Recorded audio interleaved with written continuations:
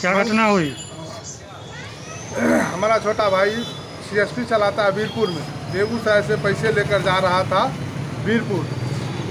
वीरपुर के रास्ते में लक्ष्मीपुर आईडी बैंक के पास तीन आतंकवादी ने गोली, तीन तीन गोली मारकर और पैसे लेकर भाग गए उस हालत में हम आए यहाँ, डॉक्टर साहब अशोक कुमार शर्मा हैं। इन्होंने कहा, तीन गोली को निकालने के लिए फ़ीस लिया अट्ठासी हज़ार। हम दे दिए। कल तक मुझे कहे कि क्लीन है। उसके बाद डॉक्टर साहब बोले जो ठीक है आईसीयू में है दो दिन के बाद हम बाहर कर देंगे। आज नहीं कल। फिर आज मुझे इन्होंने कहा कि आप अड़सठ हज़ार रुपये दीजिए गोली छूट गया। और हम परेशान हैं सर। जब यह बात था तो पहले उनको कहना चाहिए एक्सरे हुआ या सी टी स्कैन हुआ तो उस टाइम में कहना चाहिए जहाँ एक गोली बचा हुआ।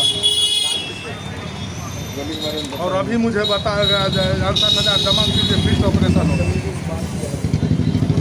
एक्सरे सीटी स्कैन और एक्सरे एक साथ हुआ था सीटी स्कैन का रिपोर्ट हमारे पास दे दिया गया और जब हम एक्सरे जब मांगे तो एक्सरे बोले कि डॉक्टर के केबिन में भेज दिया गया जब हम एक्सरे जब डॉक्टर साहब आए तो एक पेशेंट आए थे वो बोले चार घंटा बाद आपको मिल जाएगा और जब हम उन पर हम जब वो निकले और रिसेप्शन जो बैठते हैं, उनको जब हम फोर्स किए कि नहीं, हमको एक्सरे तो मतलब चाहिए, उसके बाद ट्रीट का, ट्रीट होना चाहिए। तो वो बोलते हैं, वो बोलते हैं कि हम एक्सरे का कोई रिपोर्ट नहीं बनाते हैं, सिर्फ़ उसका फ़िल्म फ़िल्म जो होता है ना, उसी पे काम करते हैं। अब स्वाभाविक बात, अब सोचने वाली बात है एमबीबीएस डॉक्टर, अब बिना रिपोर्ट का काम होता है। और लास्ट में जब हम फोर्स किए, तब मेरे अंदर बुला के दिखाते हैं कि एक गोली छूट गया है।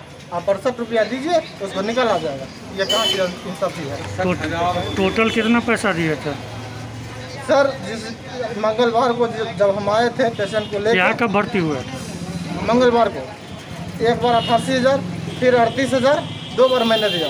वो मतलब वो निकालने के लिए। और बाद में ये फिर से बिल अड़सठ हज़ार का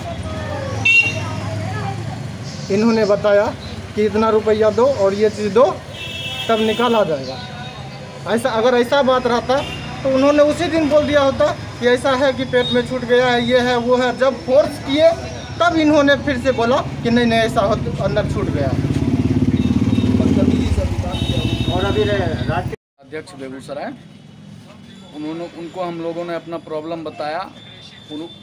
वो रिसेप्शनिस्ट से बोले कि डॉक्टर से थोड़ा बात करेंगे डॉक्टर का नंबर चाहिए। रिसेप्शनिस्ट एकदम बेहुदा तरीका से उनके साथ बात किया हम लोग के साथ तो कर ही रहा है। ना डॉक्टर तरीका मतलब क्या? बदतमीजी से बात करना कि डॉक्टर साहब का नंबर हम किसी पेशेंट के गार्जियन को नहीं देते हैं।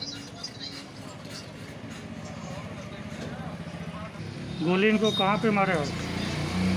गोली बीरपुर थाना क्षेत्र के अंतर्गत सीएसपी संचालक थे संदीप राय उनको लगा था। क्या नाम है उनका? किनका? जिनको संजीत कुमार राय नाम है। उनके पिताजी का। स्वर्गीय राजेंद्र। उनका घर? बीरपुर। थाना? बीरपुर। आप कौन हुए उनका?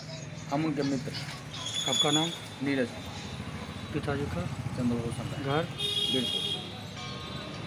सर जितना डॉक्टर साहब बोले हैं आप क्या चाहते हैं यहाँ हम ये चाहते हैं जितना डॉक्टर साहब वो बोले हैं कि अति कल बोले थे कि हम क्लीन कर दिए हमको क्लीन चाहिए। बाद में वो नाटक कर रहे हैं कि अंदर छूट गया है या किया हुआ है वो जाने। इसकी सूचना प्रशासन को भी दी है। जी प्रशासन के सामने भी बात हुई है ये। जिस वक्त बयान लेने के लिए वो आए थे तो वो बाहर थे। और ये बात बोला गया था वो बोले थे कि हमको चंद लाइन पूछना है। तो वो बोले लिख के दे देने के लिए। जब लिख के दिए पूछने के लिए तो अंदर से वो मतलब अंदर से जो आया था वो अंदर में जो रहते हैं वो अंदर ही लेकर उनको गए। जब वो बाहर निकले तो डॉक्टर साहब वो बोले कि आपका पेशेंट ठीक है। उनको भी बोले, आपका पेशेंट ठीक है, पूरा क्लीन कर दिए हैं, कल हम निकाल लेंगे, जैसा बयान चाहिए वो ले लेंगे। और शाम को पता चला कि एक गोली और